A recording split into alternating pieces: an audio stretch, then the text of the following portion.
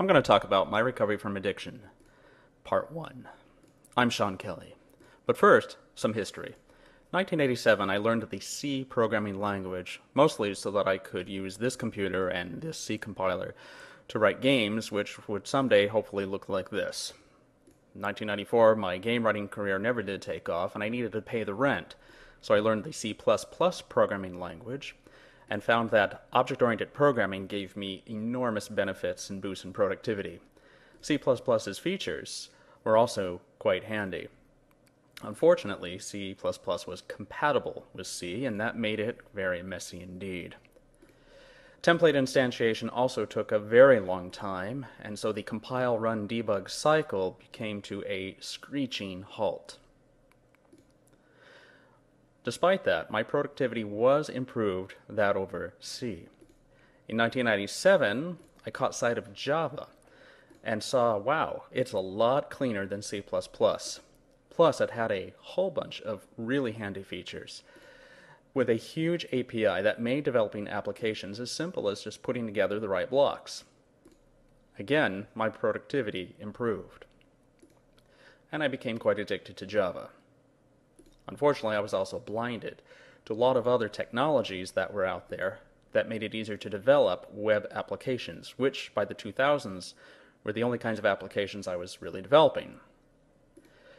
So in 2006, I finally took the time to evaluate a lot of those other technologies that were out there, or at least some of them, and made the now famous screencast Better Web App Development, which is still on the web at this address should you like to take a look.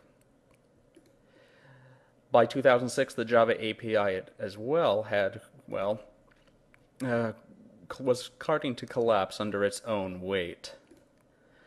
And using that API became more and more difficult. Seems that just about every class has a XML configuration file, and to actually get objects, you have to go through several layers of factory objects. My productivity with Java seemed so much more slower than those using more nimble and agile technologies, and by comparison, my productivity was plummeting.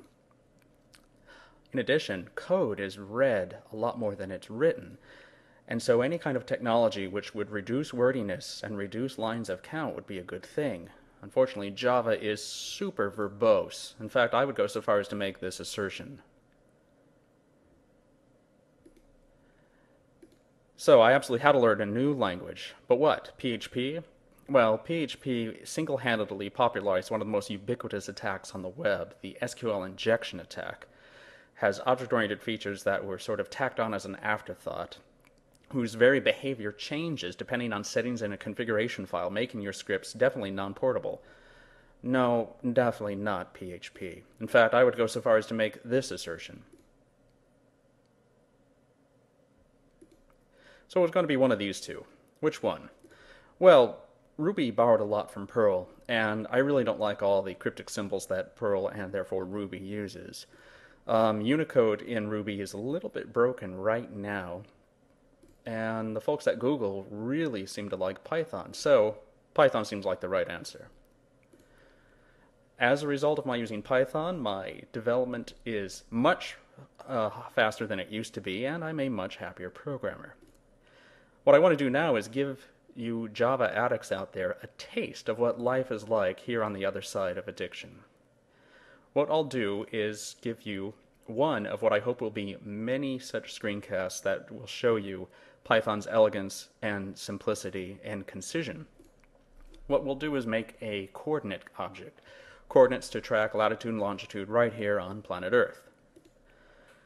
In Java, you would do this by making a public class coordinate with two private float fields to hold your latitude and longitude.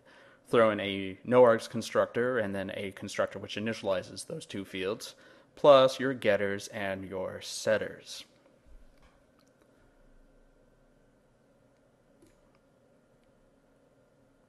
That's 21 lines of code and a lot of typing. Now, I know you're going to say, well, hey, my integrated development environment takes care of that for me. It'll generate my getters and setters, but that's really not the point. Remember, code is read more than it's written, and anyone who goes then traipsing through that code has to put up with a lot more visual noise, and that reduces productivity and efficiency. The Python version looks like this. Make a class coordinate which derives from object, make an initializer with lat and lon which have default values, and assign those as uh, fields of each object. That's just three lines of code. It's clear, concise, and elegant. Now you're, you're going to say, well, hey, the fields are public in Python. Anyone can, can touch any part, right?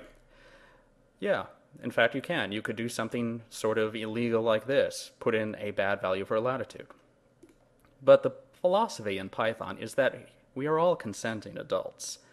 That is, we're all mature enough that we will not break encapsulation or do illegal or stupid things, and that the language is not going to go out of its way to prevent this because we have a level of maturity which tells us that that's a bad thing. So, breaking encapsulation is something that is allowed in Python. And when's the last time you ever willingly broke an encapsulation in Java? Or even needed to. Yeah, you can do it, but why bother? So the philosophy of Python that we're all consenting adults helps make Python a little bit more agile and nimble than Java. Could we apply that same philosophy to Java? Let's try it. Let's see if we just make the lat and lon fields public in Java, then suddenly maybe we, we could make Java a agile language. We still need our noargs constructor and our constructor which initializes the fields. But hey, now we're just down to nine lines of code. Uh, maybe there is hope for Java after all. We can even do the illegal thing. Eventually, your coordinate class will make it into production, and production code, say a telemetry tracker, which receives data from the satellite and wants to update its last location, might look something like this. On the left, we have the Python version, and on the right we have the Java version. Yes, we are touching public parts here, but remember, we're consenting adults. And of course, the longer code is in production, eventually something might happen that looks like this. That is, some bad data comes from the satellite. It's all garbled. And what does that do to the decode lat function? Does it come up perhaps with an illegal latitude? Or a cryptic series of numbers. This is clearly as a bug, and it's something that we've got to fix. For instance, though, let's just say that you are the maintainer of the coordinate class and the telemetry tracker is in someone else's bailiwick. So you decide to put in a check inside the coordinate class to check for an illegal latitude. In Python, what you would do is add a getter and a setter. The getter will just return a field called underscore underscore lat, and the setter will then check to see if the incoming latitude is an illegal one, and if so, raise an exception. Otherwise, it will just assign it.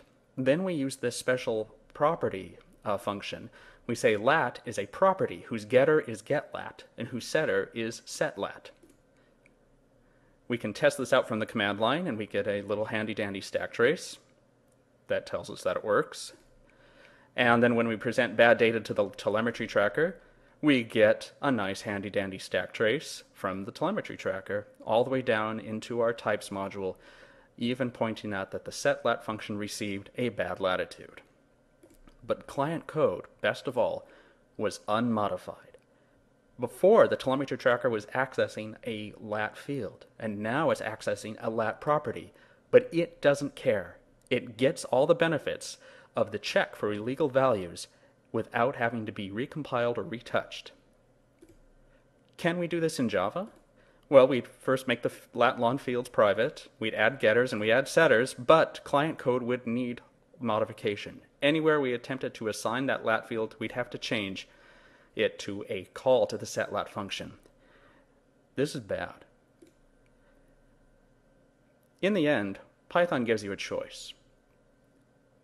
You can choose to use properties, or you can just allow clients to touch the public fields directly. And you can even change your mind later. It gives you a far more expressive and concise way to manipulate your objects and their properties.